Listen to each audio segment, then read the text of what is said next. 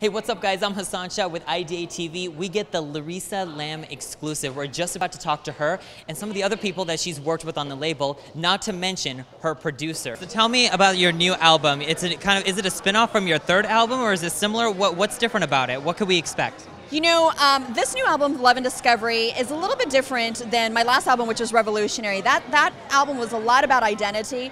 This album is, as kind of the title says, love, um, which I wrote music for the first time. A lot of people write love songs, but it's the first time I wrote music because I got, had gotten married and fallen in love, and I had I don't like sappy love songs normally, and I tried. Not all of them are sappy love songs, but they they have you know the theme of love, and I think the discovery aspect is about. I think as you journey through life, you discover new things about about yourself. And for me, it was about discovering how to kind of overcome some of those obstacles that I was starting to face, or when I'm like maybe feeling like a failure, like how I overcome those things, and discovering, I can think the inner strength that God has given me, and, and, and discovering, I think, more about uh, myself than I, I really ever knew about. Yeah. You've worked with Larissa for a while. How long?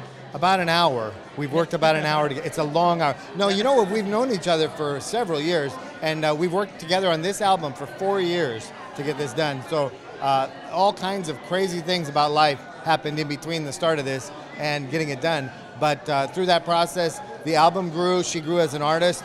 Uh, just wonderful things have happened. Yeah. So, what was? How could you compare her when you first started working with her all the way to now? What What kind of progression did you see in her? She's way taller now. She kept growing taller. No, no, actually, uh, it's it's funny because she was a very talented songwriter and singer when I first met her. So I can't take any credit for that. But uh, as we worked together, uh, she experienced a lot of different things about life, uh, including uh, the birth of her baby and, and how that all changes the, all the dynamics of your life and, and the way that you see things.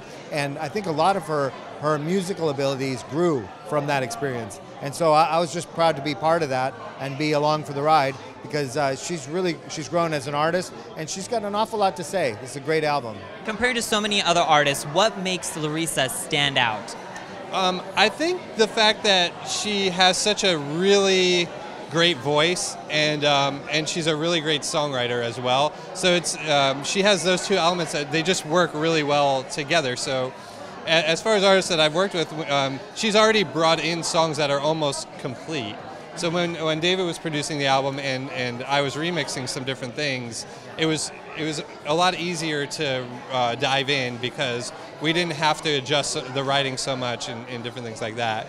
And um, as a performer, she's great. So it's um, giving her direction. She already understands where to go and, and, different things like that. So, any crazy memories like in the studio with Larissa? What is she like? You know, but behind yeah. the scenes, any funny experience you could tell us? What happened on yet the other day or? Yeah, well, when she comes out of the studio, Kalia is there, her daughter, and so she'll she runs in the studio to do her thing, and she's like, okay, oh my gosh, I gotta feed Kalia. Okay, I gotta grab the phone. How does this look? How does my face look? Is everything look okay? I'm like, you look great, but this I, I'm worried about. So she's like, she's she's multitasking like crazy.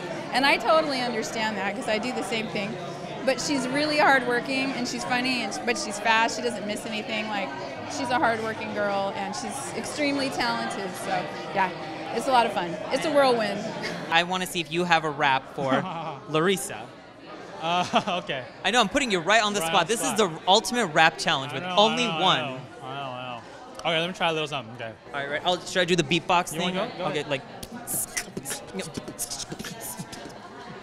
There you go. No, I'll try. There you go. Okay. Yeah. All right, so you know that we're here to support my girl Larissa Lam. Y'all better hurry up and buy her CD as fast as you can, because uh, you know we're trying to hit the Billboard charts. But first, we got to do is uh, commemorate this entire art. Oh man, that was that was really cool. we just got a little glimpse of Only Won's rap right here for Larissa, exclusive right here on Ideate TV. That's right.